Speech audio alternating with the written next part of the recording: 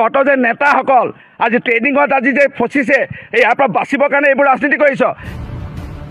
এটা ইয়াত গছ পুলি উঘালাৰ আগত কোনোবা কোম্পানী যোনে হয়- হয়তো আমাৰ ঘৰৰ খুঁটা এটা হিলাব লাগিব। এই গিবনক আমি একো কৰিবলৈ নিদিওঁ। মই এইটোৱে যে চকু উঘালাই দিয়াৰ কথা কৈছে।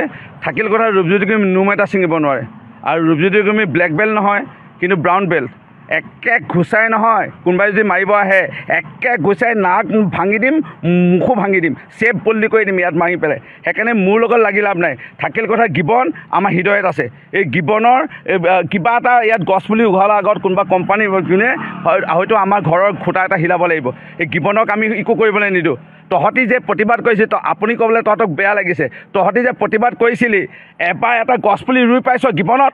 ঐ গছপুলি ৰুই পাইছ? এটা ফুলৰ পুলি ৰুই পাইছ ইয়াত প্ৰতিবাদ কৰিব আহিছ। তহঁতৰ যে নেতাসকল আজি ট্ৰেইনিঙত আজি যে ফচিছে ইয়াৰ পৰা বাচিবৰ কাৰণে এইবোৰ ৰাজনীতি কৰিছ। এটা গছ পুলি ৰোৱা নাই মৰিনী কেইটামান আছে মই দেখিছোঁ। এটাই ফুলৰ পুলি ৰুই পোৱা নাই গিবনত। গিবনত পুখুৰী আছে নাই তহঁতি জান?